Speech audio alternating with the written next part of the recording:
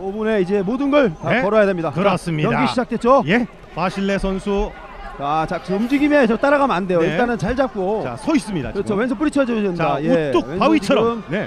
완벽하게 뿌리쳐 줘야 됩니다. 네. 지금 잡힌 상태에서 지금 위험해요. 안 돼요. 네. 한팔 아버치 들어오죠. 38. 자 그대로, 네. 그대로. 예. 자, 굳히기 연결해야죠. 네. 자 일어납니다. 좋습니다. 네. 자 일단은 그 젊은 그 선수답게 속도가 상당히 빠르군요. 자, 일단은 전 어, 경기 흐름을 조금 이제 좀 더 지켜봐야 되겠지만 네. 초반에 지금 어, 이 파비오 선수의 어떤 바실레, 바실레 선수의 이 몸놀림이 좋아요. 네. 자, 근데 안 돼요. 아닙니다, 아닙니다. 어, 자, 이거 안 되는데요. 이거 안 됩니다. 이게 어떻게 한 판이 되나요? 자, 일단은 떨어지는 그 탄력이 조금 부족했거든요. 네. 그대로 한 판을 선언합니다. 자, 너무 지금 어, 허무하게 일단 밧다리 걸기에 예, 한번 봐야 공격을 되겠어요. 당했는데요.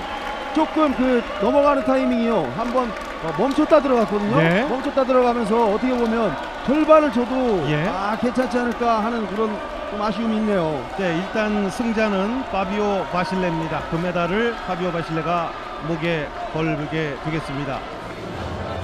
열심히 그동안 준비했는데 그 아직 많이 좀 부족한 것 같아서 다음 올림픽을 노리면서 더 열심히 해야 될 것 같습니다. 오늘 경기에서 조금 이제 마지막에 좀 아쉬웠던 점이 있었다면 어떤 거 있었어요? 준결승에서 일본 선수를 이기고서 좀 너무 방심하지 않았나 생각 들고요.